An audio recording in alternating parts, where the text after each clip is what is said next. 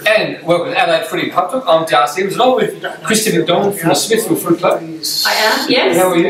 I'm very well, thank Who you. just found out that she's a big legend, also, or her family's a big legend of the Century United Football Club. Dad's a life member and you. Oh, I know. So- I've basically grown up there, so um, I have grown up there. But um, yeah, it's, it's a good club. I always have a bit of a soft spot for it, even though I've moved on to, to Smithfield to greener pastures, just a stone's throw at Smithfield. But um, no, I love uh, yeah, I love both of them. I always have a soft spot for. So the women's side, if the, say Smithfield did get a women's side, I'm sorry, Century United did get a women's side, you play there or? Uh, nah, I'm pretty Oh, comfortable. Nah, I think I'm pretty comfortable where I am. And, Yeah, absolutely. Yeah, I love, I love my club and I love the girls out there and the lads out there. So I don't see me moving anytime soon. I'll probably be that old lady and you know, Nah. cheering on the cheering on the eight grade. So Uh, I'm one of the old blokes from Fulham's Park Footy Club, you so that's okay. And, uh, I'll get there. Not Yeah. far off. Yeah, that's it. We've also got Stephen Toasty Clay, who a legend at Port Districts originally, but now he's moved on to, or trying to try himself at coaching now at the B grade out at Foster Camden. So yeah, so how's that gone for you? yeah, good. Boys had a good win on the weekend, so we did everything we wanted, and the one's got to win too. So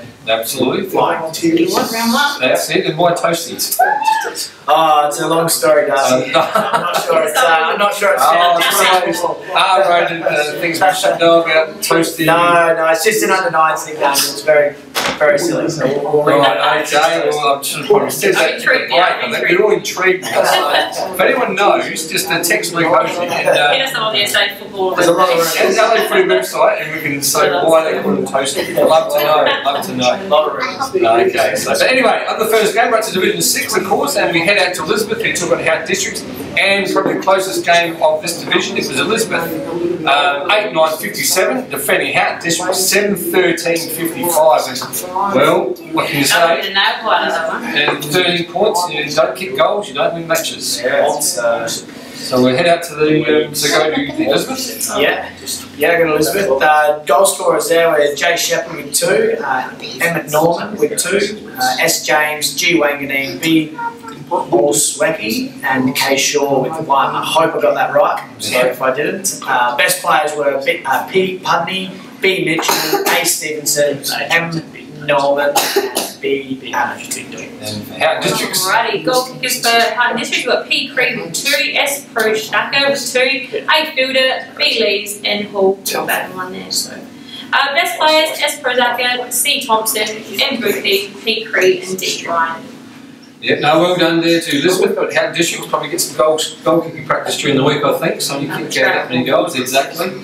So now we see um, Marion, or at Mawson Lakes, took on Marion. It was a massive win there to Marion. So 17 goals, 12. So it could have been a, a really whitewash. They kicked straight to uh, Mawson Lakes, 7 goal, 2 44. So a very good result in Marion. Yeah, it's, um, I believe that is that the uh, Div 7 replay, the grand final? That is. Um, So so, yeah, the, uh, that was a bit of the tables turn now. Yeah. So, We played our first game out in Marion this week, and it's a good club down there, Oh, it's good a beautiful setup. coverage down there. Yeah, it's they nice. have uh, some of the best facilities, I reckon. Uh, 100%. I was just wa- like walking out in the field, looking up there, and just sitting there with their wine and then with a big screen TV. So. So Marion probably the first to start that many years ago. That, that's a community hub, I think. Yeah. But now you see, obviously down at uh, Campbelltown over, the Lockleys have got the brand new Yeah. coverage now.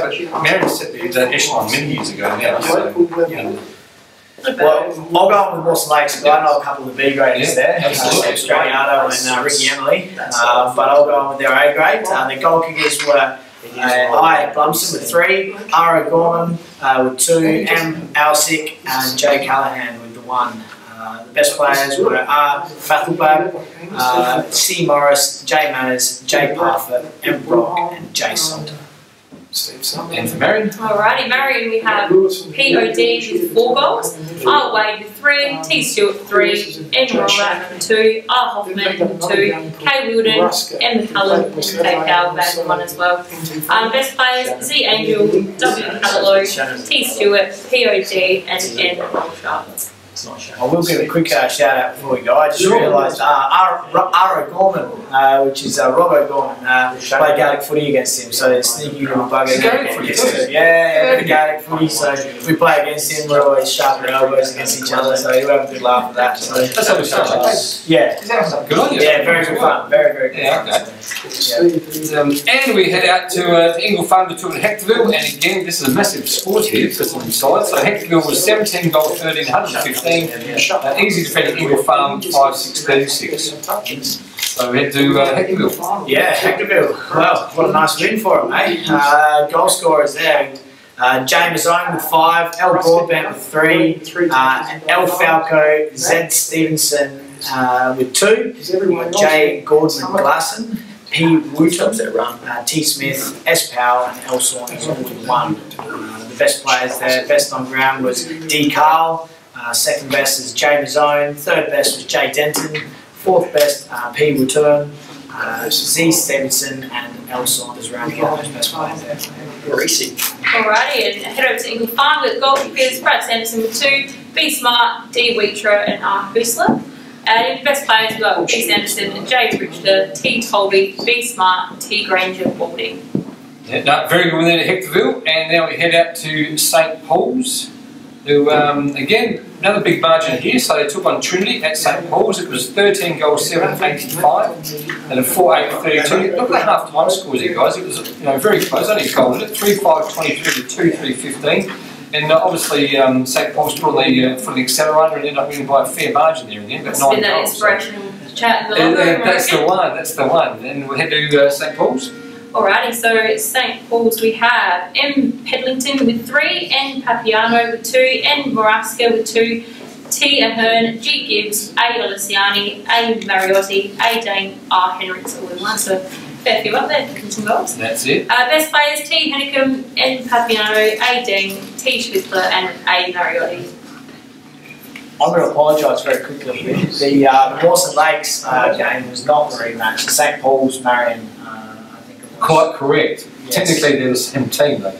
Well, yeah, yeah, yeah. So that's, that's, that's where I get I was thinking the same. No, I was, I was thinking exactly the same. Actually, sorry. Um, Technically, when you think they were one, but they slipped again. So. Yeah, yeah. The boys that play that I know play for St Paul's. Yes. Uh, so that was Sam Stradiato and uh, Ricky Evans. Yeah. They play big at St Paul's. So excuse my. No, no, you make one mistake every, every Yeah, round. yeah. So That's I it. make plenty.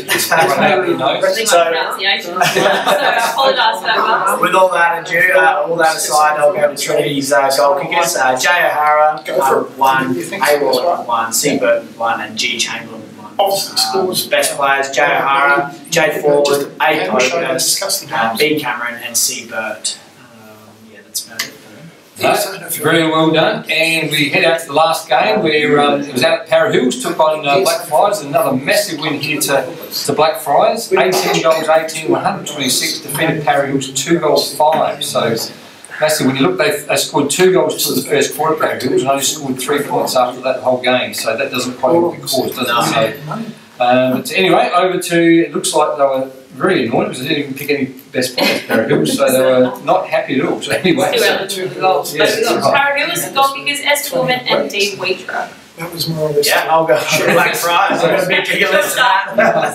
Um, all right, I'm going to apologise in advance if I get any of these wrong, but uh, you got A. Scafidi Muta with six, uh, G. Velotti with three, M. River with three, A. Constantino with two, D. Richardson with two, B. Hodson with one, and D. Covino. with one. Best players there were S. Murphy, best on ground, uh, D. Richardson, M. Brincat, F. Marifiotti, and uh, M. Milne. And it looks like we've got our first prize. We've got uh, Scafio Muta kicking six goals, not being the best player. So That's devastating. that's, that would be devastating. He'd be waiting for his chicken pack or at least something here and a, 100%. a drink card or Sounds like something. a couple of and drinks now. Absolutely nothing. Not, not a zap. So I'm Anyway. the best after two or three. So. Maybe, maybe keep the Asian points. Yeah. yeah. But, uh, anyway, so we head to this week's game. So we've got Houghton District take on St Paul's. Um.